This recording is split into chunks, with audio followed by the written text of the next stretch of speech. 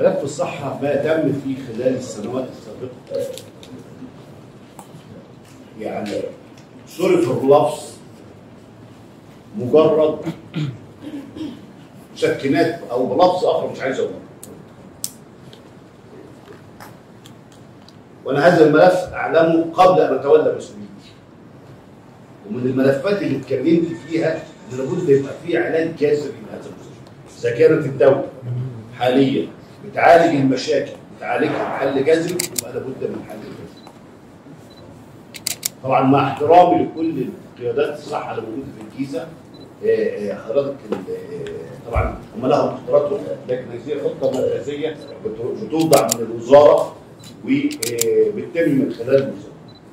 أنا اتكلمت مع السيده الوزيرة أكثر من مرة.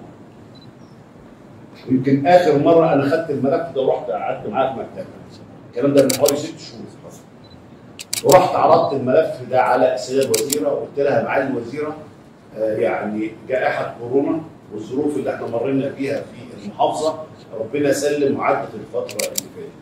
لكن استمرار الوضع بهذه الطريقة آه، أعتقد حضرتك يعني إيه أنت لامسه حقيقي للأمانة هي تفهمت معايا تماما أنا أثرت عليا المسافه وقالت أنا متفق معاك تماما. قلت لها يا فندم الحل إيه يا فندم؟ قالت لي الحل إن محافظه الجيزة لابد تدخل التأمين الصحي المرحلة الثانية اللي إحنا بصددها حاليا. لأن إحنا لو استنينا المرحلة الثالثة إحنا قدامنا 10 سنين. 10 سنين بالوضع الحالي إحنا حضرتك النهارده ما عندناش صرح طبي كبير ما عندناش حضرتك النهارده عدد كافي من الأسرة لا قدر الله في جائحه كورونا. وكيل وزاره بيبذل مجهود ومدير المستشفيات بيبذل مجهود والسادة النواب معانا ولامسين تماما. سياده النائب عبد الخير معانا يعني أهو في قصة في مستشفى اطفيح وما أدراك ما اطفيح يعني موضوع حضرتك يعني صعب جدا.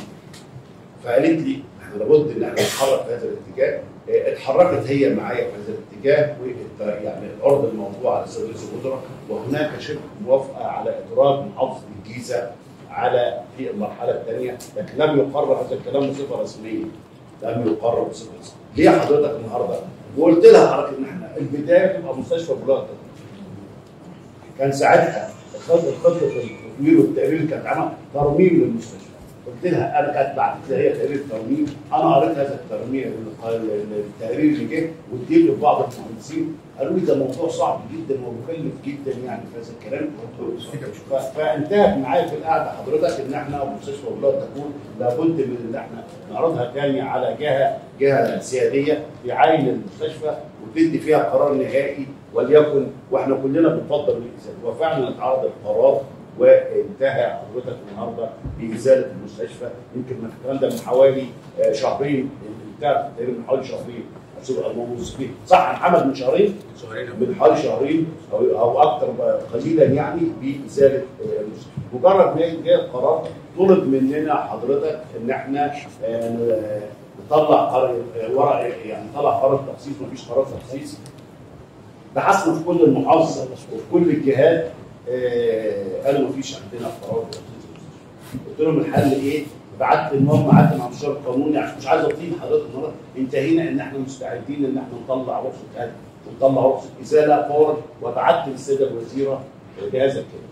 السيده الوزيرة ردت عليا من ثلاث أربع أيام بجواب إن هو لا يفضل إن التأمين الصحي منظومه التأمين الصحي يفضل إن يبقى فيه قرار تخصيص حتى لو ما كانش فيه قانون تطلع قرار تخصيص. فاحنا دلوقتي بنصدر ان إحنا نجهز الورق ونبعته للسيد رئيس الوزراء وإحنا ما عندناش مانع نطلع نبعت الورق بصدور قرار في التخصيص. طيب أنا بحب كده يعني إيه